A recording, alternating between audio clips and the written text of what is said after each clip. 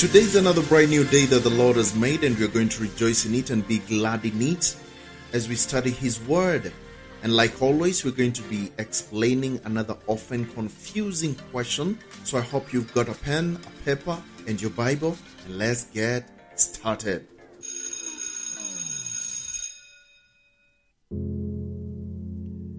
Did Jesus speak in tongues? Jesus, did he ever speak in tongues? The Bible offers no evidence that Jesus spoke in tongues. And many today see tongues as some sort of a unintelligible supernatural form of speech.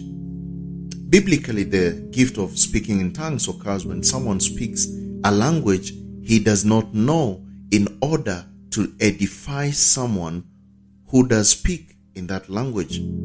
Look at 1 Corinthians 14, verse 6. The Bible says, Now, brethren, if I come unto you speaking with tongues, what shall I profit you, except I shall speak to you either by revelation, or by knowledge, or by prophesying, or by doctrine? So now, if Christ were going to speak in tongues, it would have been logical for him to do so at his baptism when the Spirit descended on him like a dove. Mark 1 verse 10. And straightway coming up out of the water, he saw the heavens open and the Spirit like a dove descending upon him. That could be the right moment, okay? But we know that uh, moments after Jesus' baptism, the Father spoke from heaven in words that we could all understand. That is in verse 11. Of course, we know God spoke and said, This, this is my beloved Son, and, and all that story, you know. But we have no record of Jesus speaking in tongues on this or any other occasion. And many advocates of today's tongues movements uh, assume that Jesus must have spoken in tongues.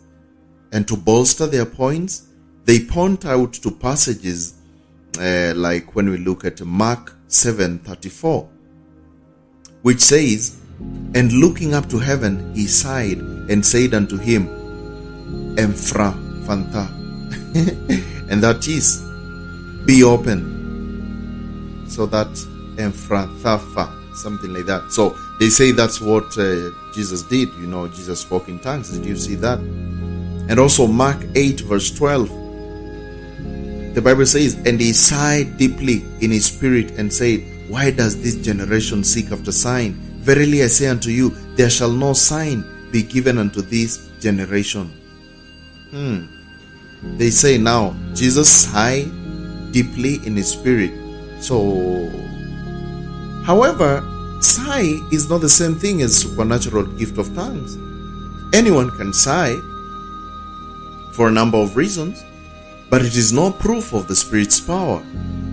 We have a record of Jesus speaking in uh, Aramaic, which is the commonest language spoken in Israel at the time. Think about Mark 5, verse 41. The Bible says, And he took the damsel by the hand and said unto her, Talitha cumi, which is being interpreted, Damsel, I say unto thee, arise. Hmm, that was the Aramaic language. He was not babbling. And also see in Acts 26 verse 14, the Bible says, And when we were all fallen to the earth, I heard a voice speaking unto me, saying in the Hebrew tongue, Saul, Saul, why persecutest thou me? It is hard for thee to kick against the pricks. This is when uh, Paul is trying to explain what happened during his conversion. And he's saying what uh, he heard. Jesus spoke to him in the Hebrew tongue. So, most likely, Jesus was also conversant in Hebrew and Greek, since both of those languages were used as well.